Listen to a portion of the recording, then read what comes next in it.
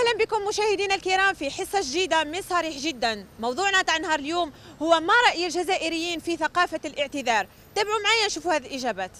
واش تقول لي على الاعتذار للآخرين؟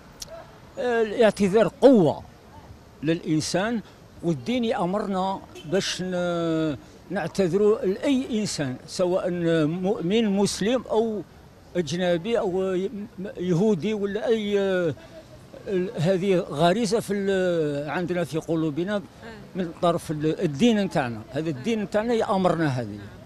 فوالا. يعني ماهوش ضعف يعني لا لا ماشي ضعف. تنصح باللي يغلط يطلب الاعتذار.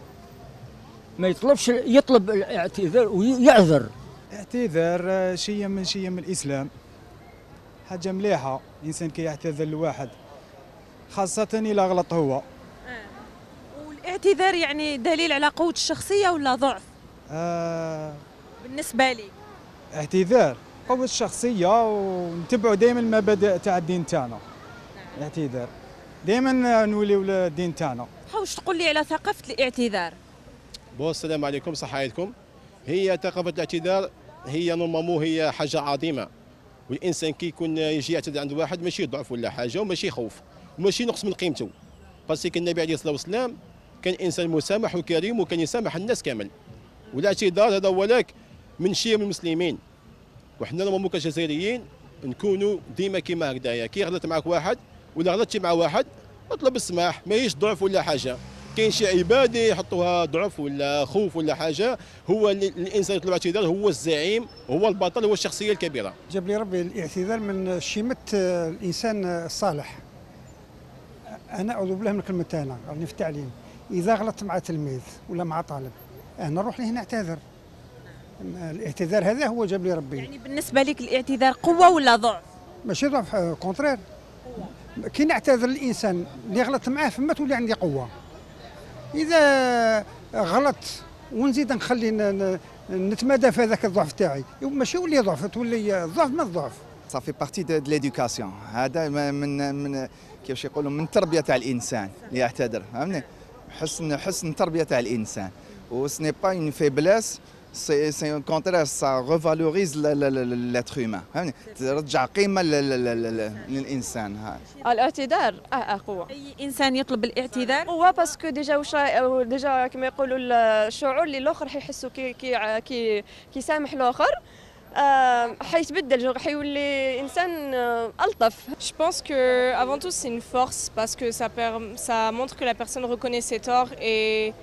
et sait si elle a fait des erreurs ou non.